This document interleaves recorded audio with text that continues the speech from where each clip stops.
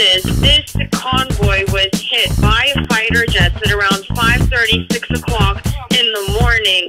The vehicles, the debris is strewn over an area that stretches for kilometers. There are at least 40 vehicles, military vehicles that we counted here, anywhere from trucks carrying ammunition to tanks with their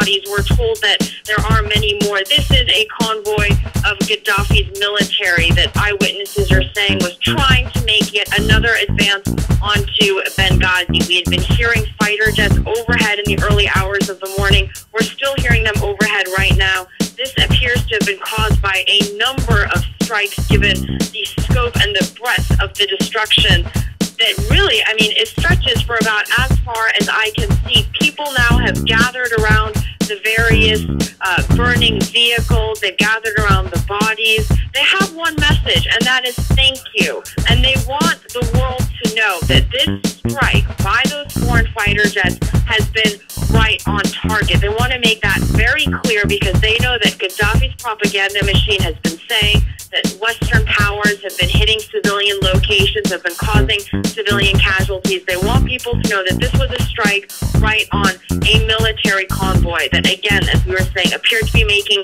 an advance on Benghazi. These foreign fighter jets weren't in the air. If these strikes hadn't been happening, there would be a battle Right. raging for Benghazi once again. When the battle took place yesterday, forces managed to push back Gaddafi's army, but only barely.